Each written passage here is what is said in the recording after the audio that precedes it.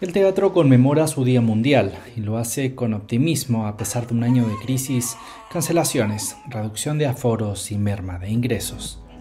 Porque a pesar de las dificultades, las artes escénicas son vida, son cabeza, son corazón el teatro para mí son las palabras que alimentan el alma y el cerebro. Pues el teatro es uh, fantasía.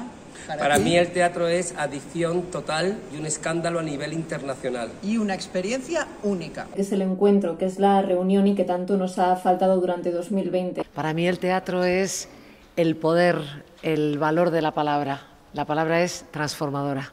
¿Qué es el teatro? Es el triunfo de la libertad de expresión y del individualismo sobre el orden fascista. Y para nosotros lo más bonito es ese encuentro que es posible a través del teatro y, y de los que venís a vernos.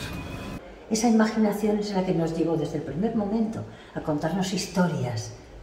Eso es teatro, eso es vida.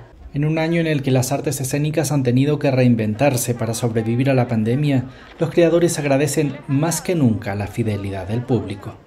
Se sienta con su mascarilla, con las restricciones, con sus miedos, pero va al teatro a escuchar esa palabra y sale distinto de esa sala de teatro, ¿no?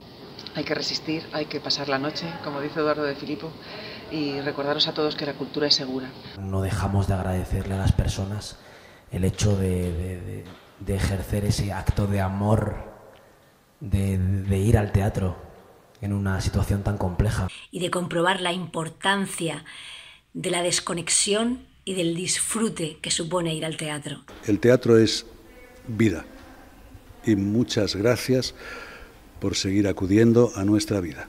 A pesar de las innumerables e imprevistas dificultades que vive el sector, el Teatro Real es el único teatro de ópera del mundo que se ha mantenido abierto tras su reapertura después del confinamiento total, adaptándose a las normas sanitarias. En Madrid los teatros están abiertos con un 75% del aforo, porcentaje que varía según la comunidad autónoma.